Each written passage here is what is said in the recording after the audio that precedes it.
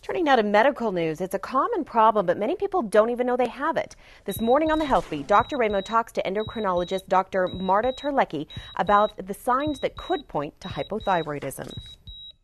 Thyroid disease, it's a very common problem. A lot of people know that they have a thyroid, but they don't know what it's like if it's not working. Dr. Terlecki, what are the major symptoms of thyroid disease if it's too low?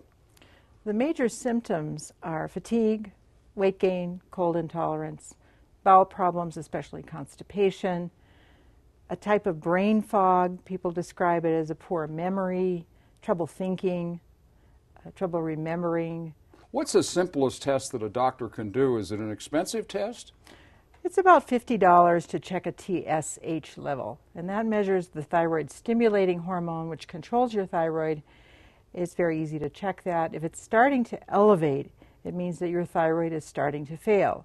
If it's profoundly elevated, of course, your thyroid already has failed. Sometimes it's helpful to check antibodies to the thyroid as well.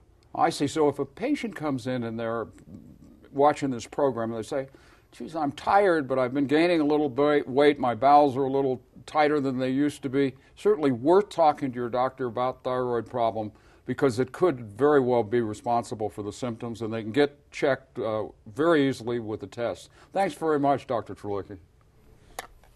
Well, for more information on this or other health topics, check the Health Beat section of our website, koat.com.